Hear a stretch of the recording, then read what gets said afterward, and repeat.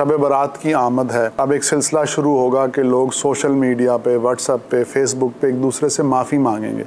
बस वो एक ब्रॉडकास्ट लिस्ट बनाई है और उसमें मैसेज जो है वो छोड़ देते हैं और वो सौ दो सौ लोगों को पहुँच जाता है। तो ये माफ़ी मांगने का दुरुस्त तरीका है? एक है आइडियल तरीका। ठीक है। और एक है मे वजह हो सकता है काम कर जाए। ठीक है। ठीक है?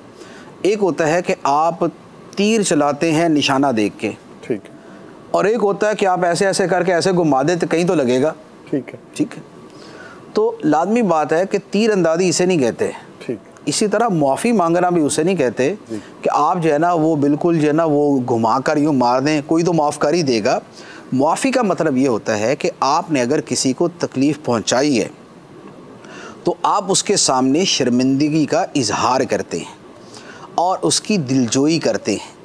और उसके दिल को जो रंज पहुँचाया था, वो रंज ज़ायल करते हैं। और वो बंदा समझता है कि यार ये अपनी गलती पर नदामत महसूस कर रहा है, लिहाजा ये एहसास के नतीजे में वो आपको माफ़ कर देता है। मुआफ़ी का हकीकी मतलब ये होता है। तो लिहाजा मुआफ़ी जहाँ मांगनी है, वहाँ पर ऐसे ही मांगी जाए। ये जो बिल्कुल ही जो है ना, वो तीर तुके वाली मुआफ़ी है किसी जगह फ़ायदा दे भी सकती है कि जहाँ पर बंदों ने हुकूक ऐसे एक दूसरे के ज़ाय नहीं किए हुए, लेकिन पता नहीं है कि पता नहीं किसका हक ज़ाया किया हुआ।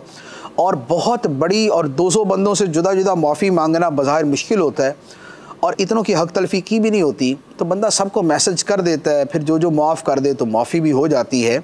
तो यूँ एक सर्टन लेवल तक, एक हद तक ये शय अपनी जगह मुफीद है। लेकिन जहाँ आपको पता है कि इस बंदे का मैंने दिल दुखाया, इसका हक ज़ाया किया, इसे मैंने तकलीफ़ दी तो वहाँ पर उड़ती उड़ती और मुबहम मुबहम सी माफ़ी जो है तो ये फिर माफ़ी नहीं बनेगी। लिहाजा माफ़ी मांगने में जो हकीकी तरीका है, वो इख्तियार किया जाए कि जिसे कहते हैं माफ़ी मांगना कि यार इस बंदे ने मुझसे माफ़ी मांगी है, वही माफ़ी मांगी जाए, वरना अब क्या हो रहा है कि अब आहिस्ता आहिस्ता लोग उल्टा नाराज़ हो रहे हैं। कि यार ये कौन सा तरीका हुआ? कि भाई जनाब यूँ करके मुझे भेज दिया कि बस ये जी, माफ़ कर देना। तो ऐसे थोड़ी माफ़ी होती है। एक होता है कि एक बंदा इतने सारों से माफ़ी मांग ही नहीं सकता।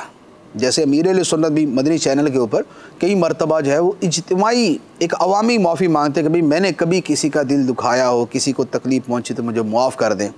वजह ज़ाहिर है कि अमीर सुन्नत लोगों को जानते नहीं हैं और किसका जाने अनजाने में क्या हो गया, उसका पता नहीं होता। तो अब उनके लिए तो मुमकिन नहीं है।